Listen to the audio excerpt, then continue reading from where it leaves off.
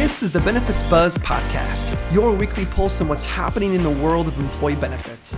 Brought to you by your friends at WEX, who believe in simplifying benefits for everyone. Now listen up and let's get buzzed. Welcome, everyone, to another episode of Benefits Buzz. And on this week's episode, we are talking about uh, a topic we all love to avoid, Kelsey, and that is crucial conversations. Yikes. Speak for yourself. I actually, you know, maybe it's my old age, but I have grown in my ability to have crucial conversations, and I actually think they're very, I, I get a lot out of them. I enjoy them. Oh, oh, I know they're important. I am a huge conflict avoider, and that that is something that I have self-diagnosed. And so, while not everyone's like you, Kelsey, I know you love the thrill of a good, juicy conversation. There's a lot of us out there that that totally freeze, freak out, or we approach these conversations in the wrong way. We get super defensive, and I can't wait to dive into it. I'm your host, Eric Peel. I'm joined as always by Kelsey Berger, a co-host. But more importantly, we have an, a phenomenal guest. I'm not sure you can find a more uh, qualified person uh, to to to be on this show. Her name is Barbara Hauser. She is the owner of Barbara Hauser Associates and a Crucial Conversations master trainer and senior consultant at Vital Smarts. Barbara, welcome to the podcast. Thank you so much, Eric. It's great to be here. Yeah, so small tidbit. Barbara and I have some some past. About eight years ago, uh, I actually went through um, Crucial Conversations training.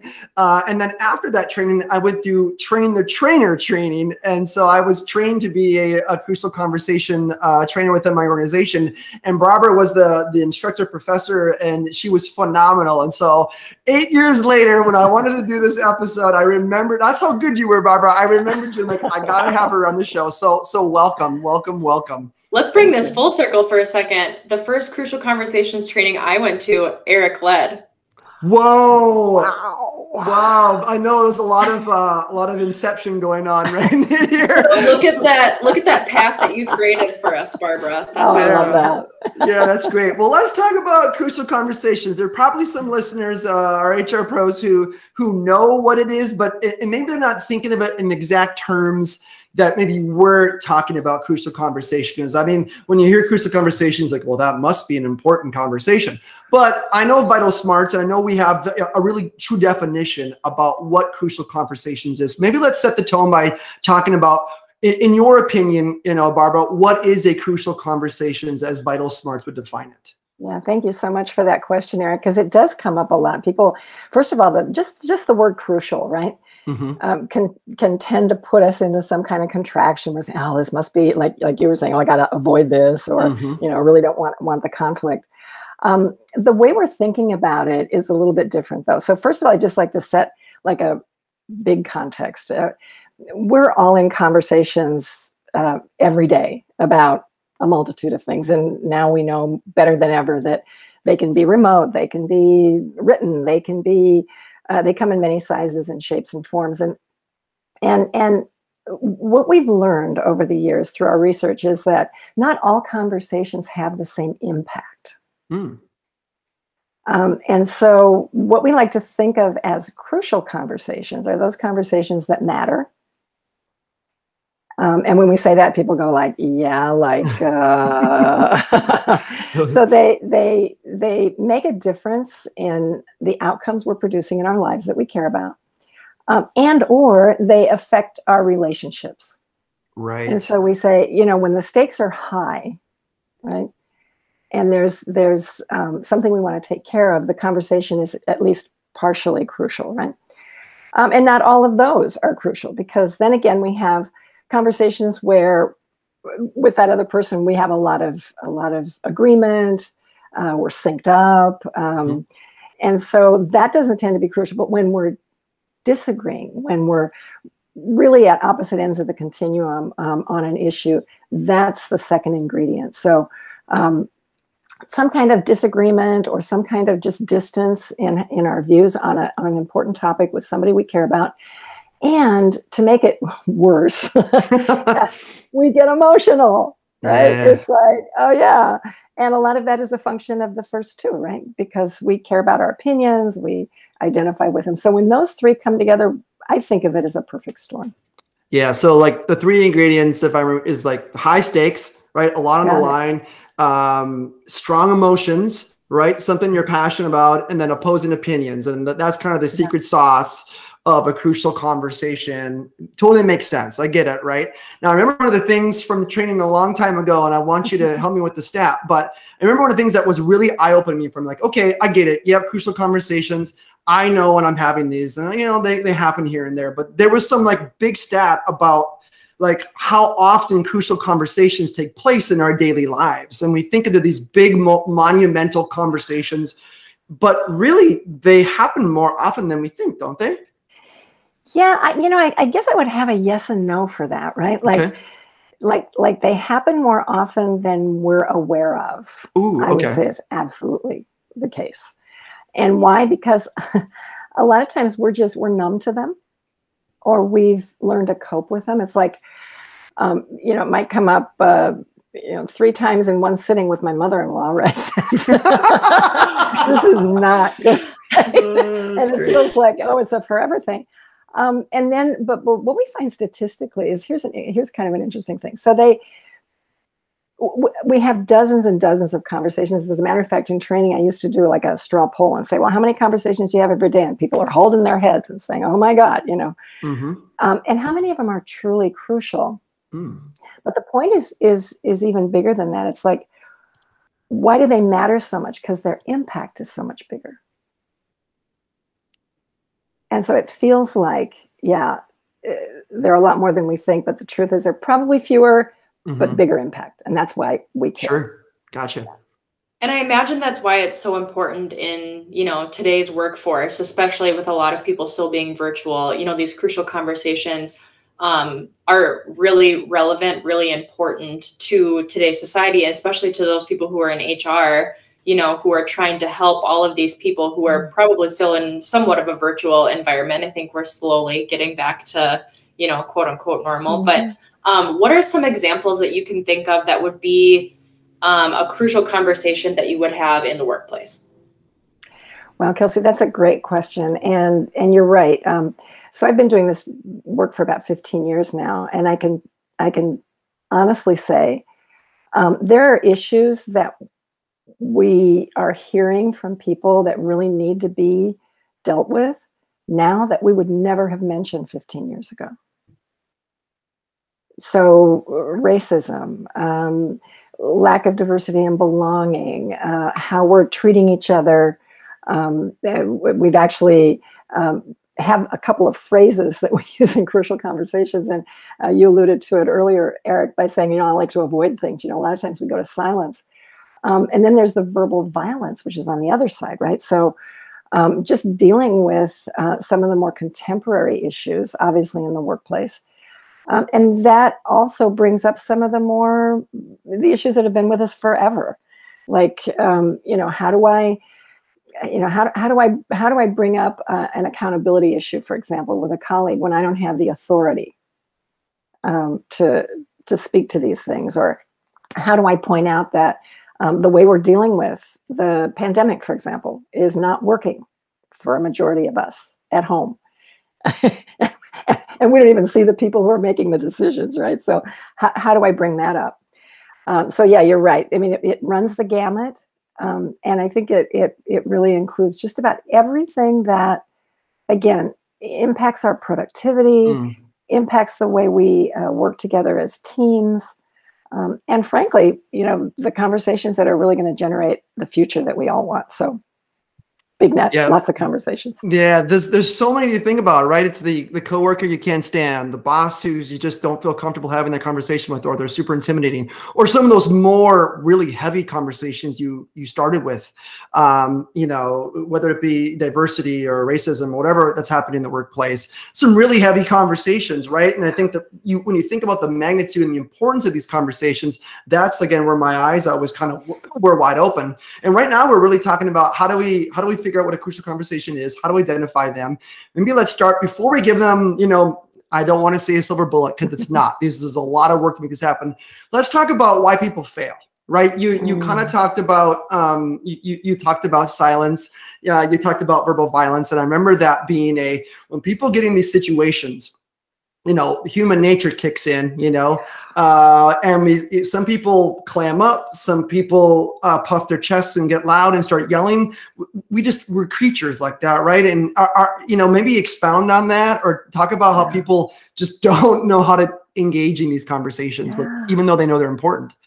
Yeah. I, I love i love the way you you call us creatures right? That's that's exactly it right? Mm-hmm. and and and so i like to think about it as um, so so we're all human mm-hmm. and the way we're wired um, and fortunately for us again over the years um, all of the the investigation and research into how our brain works is helping us to understand and accept that we are wired to keep ourselves safe mm. and so from a real primitive um, you know base of the brain kind of uh, uh, reaction this silent and violent uh, verbal violent behavior seems really logical. Actually, absolutely. Like, right. I need to. I need to take care of myself. Which well, see, it true. sounds like it sounds like fight or flight, right? Yeah. Mm-hmm. Yeah. Exactly. And it kicks in without us, without our permission. Hmm. And then what happens is that we don't have access to the smart part of our brain that's probably the sad part, right? Because I don't know how many of you have had the slapping moment where you're like, you walk mm-hmm. away from a conversation and then you didn't know what to say in the moment. You got really that tunnel vision. And, and then all of a sudden you said, oh, why didn't I tell them?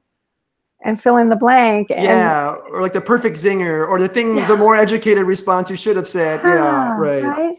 And the answer to that is that we can't in that moment unless we train ourselves. Mm so is this the stimulus gap response? Because I had a great leader once upon a time talk to me about, you know, stimulus gap response, where there's a stimulus and instead of, you know, where you're talking about your brain, you know, the fight or flight or your instinct mm-hmm. is to like go, you create a gap and you yeah. stop, you pause, you wait, and then you take time to formulate and then you respond. Is that part of this exactly. whole conversation? Absolutely. Absolutely. The first um, kind of one of the first skills that uh, we understand is is is helpful here is just that level of self awareness. And um, and a lot of times we can only get that from a little bit of introspection, like we're saying, like, why did I get so upset? What triggered me here? Um, how come I'm, you know, not saying anything when I really care about this issue? Right? And so we we we begin by um, giving ourselves our in our brains some really interesting questions to ask, like, what just happened? Right. right.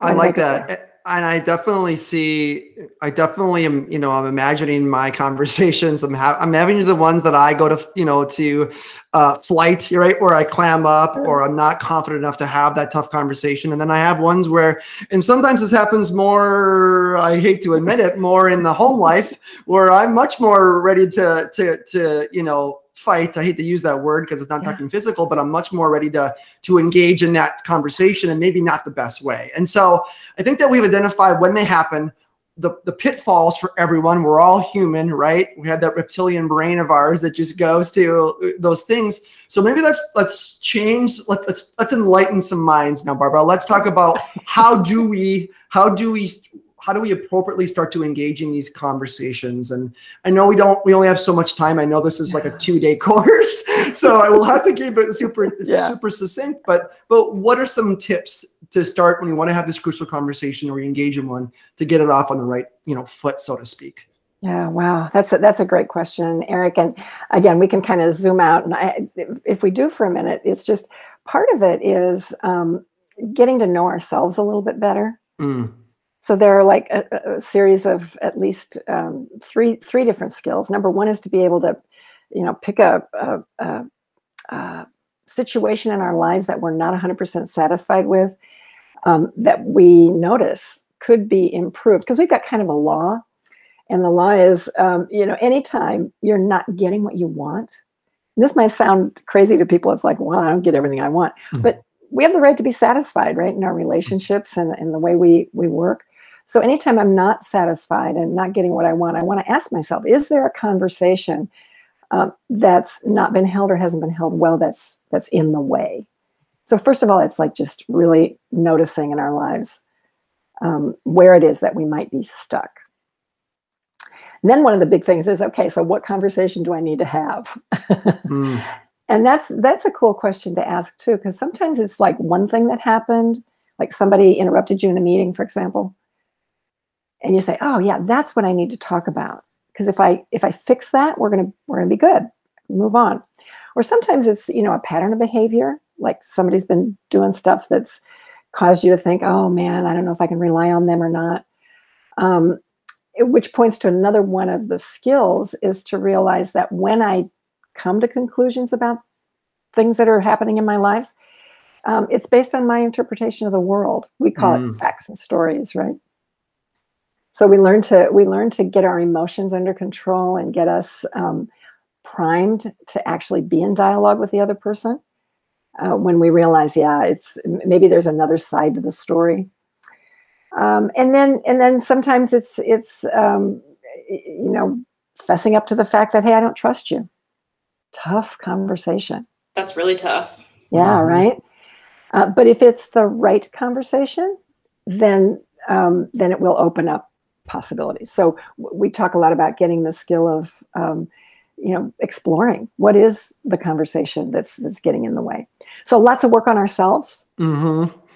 Well, it's so easy to it's so easy to blame the other person, right? Like, yeah, I never it's never my fault. It's that person. No, that's that's smart, right? Like figuring out how we're part of the equation yeah. and what we want. I like that. And you would you'd be surprised at how how many folks do come to um, you know a skill skill building kind of training waiting for that moment, right? When do I get to uh, pin it on the other person?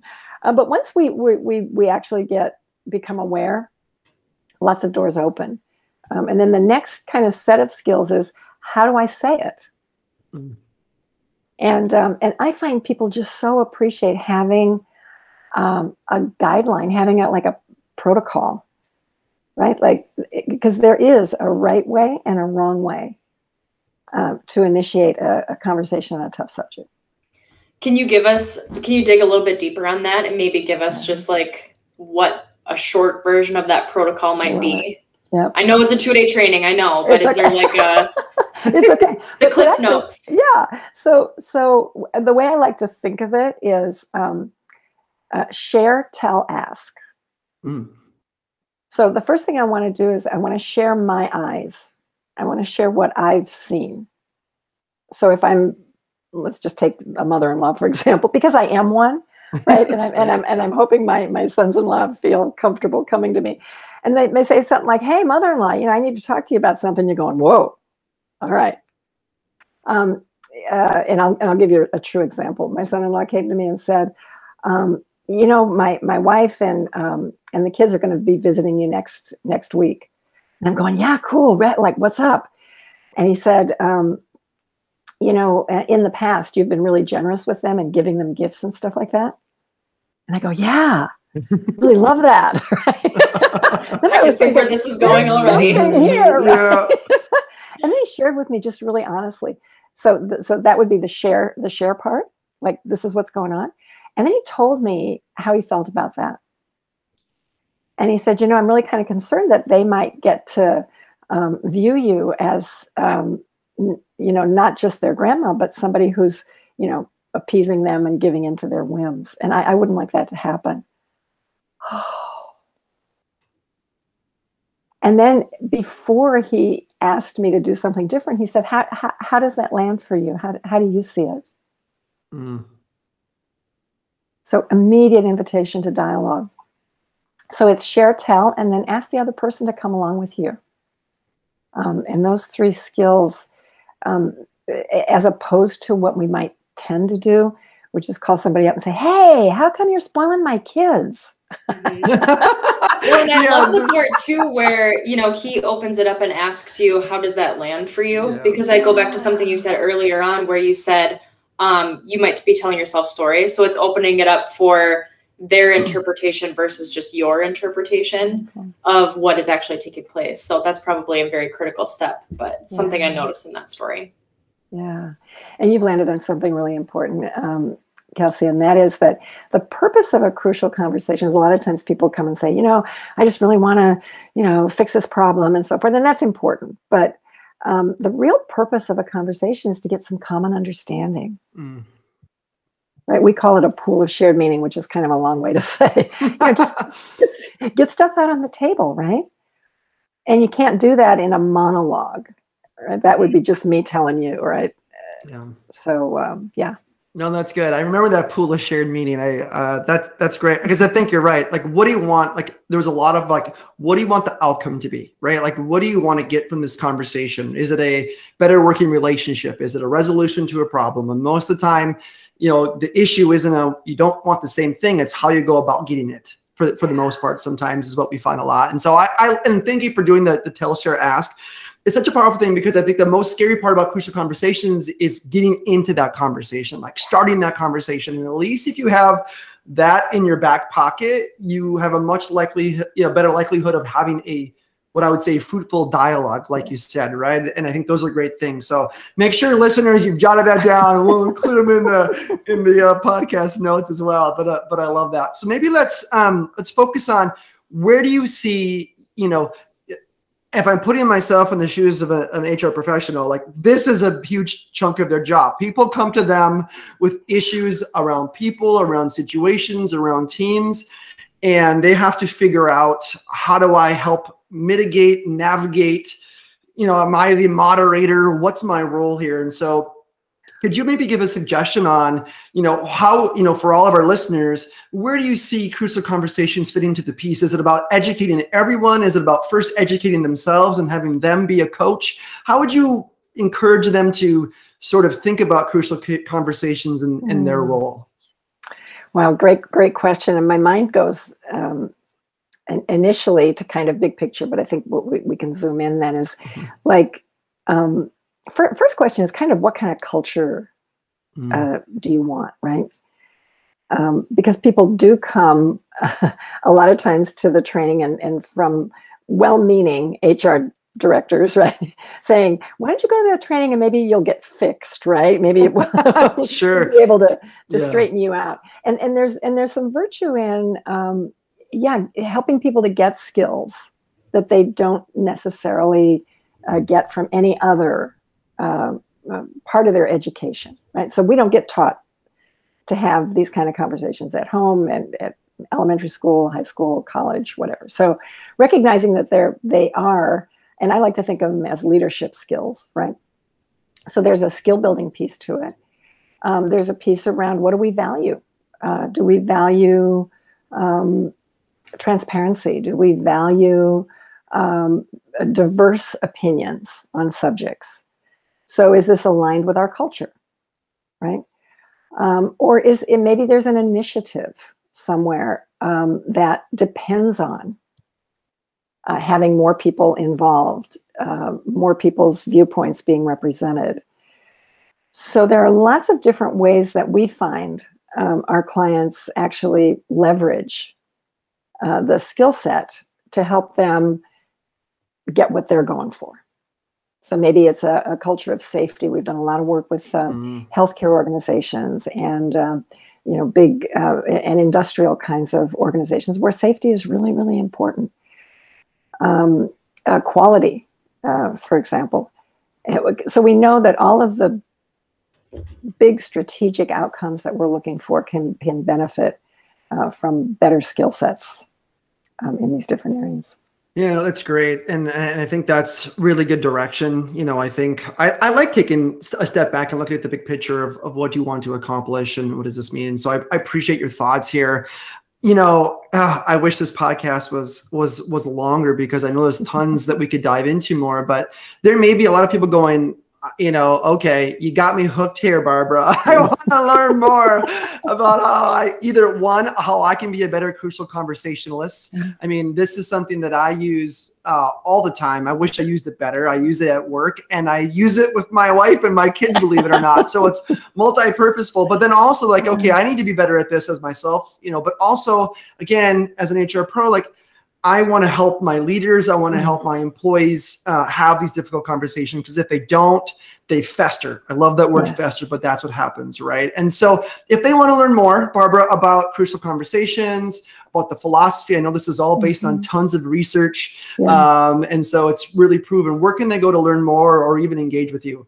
Yeah, thank you so much. Um, well, vitalsmarts.com. Um, and and I would um, lots of different free resources on that website, um, including something I'm going to pitch because it's so good. Um, if you have any room at all in your uh, inbox for another newsletter, uh, but this one, uh, the Crucial Skills newsletter, is is chock full of real, concrete, everyday examples. And as a matter of fact, uh, you can actually write in, and the authors and our um, thought leaders on our staff are really open to answering those questions. So Love that's that. a way to interact, um, mm-hmm. yeah, with with the resources and um, the book, of course, uh, Crucial Conversations: uh, Skills for Talking When the Stakes Are High. Um, there's an online assessment as well. Um, and here's here's a twist for you. What I like to do is to recommend that people have their partner or their colleague or maybe even their manager, uh, go on the website and take the assessment thinking of them. Oh, oh. I, right? Well, I like it because it's a, a, specific example, right? Something. Yeah. That, I like that. Cool. Yeah, and then you can get something back and say, "Oh, like to your point, Eric, I, I, you know, I'm, str- I'm strong in these different areas, and here are some areas."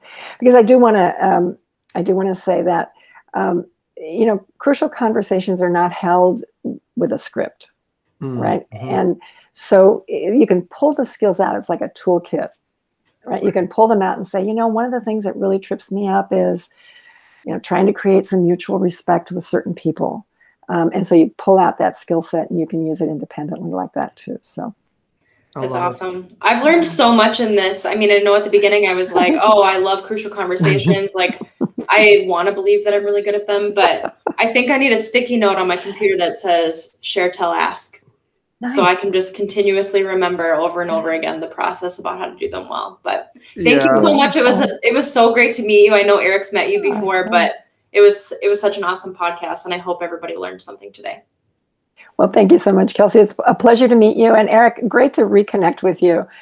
Um, kind of speaks to the power of how these skills anchor us and bring Abs- us together as a community. Absolutely, it's it's certainly changing lives. Uh, it stuck with me this whole time, and I know it'll stick with our listeners as well. So good to see you again, Barbara, and nice thanks again for coming on the show. Take You're care. welcome. Thanks.